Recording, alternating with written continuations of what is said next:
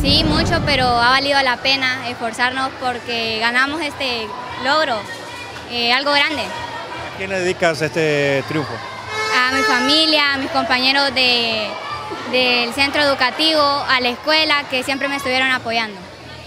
Es importante destacar que en estos eventos cívicos toda la juventud debe contribuir para tener una fiesta cívica a nivel nacional. Porque somos la nueva generación, debemos amar a nuestra patria, debemos respetarla y sobre todo sobresalir como hondureños. Cuando hacen tu pregunta, tu respectiva participación, ¿cuál fue la respuesta? ¿Cuál fue esa pregunta y cuál fue la respuesta? ¿Qué es el civismo?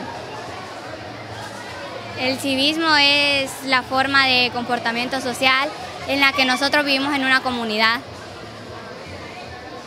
¿Qué más? ¿Qué mensajes envías a la juventud? Eh, que se animen a ir a los desfiles, a los desfiles ya que estamos cumpliendo 197 años de independencia.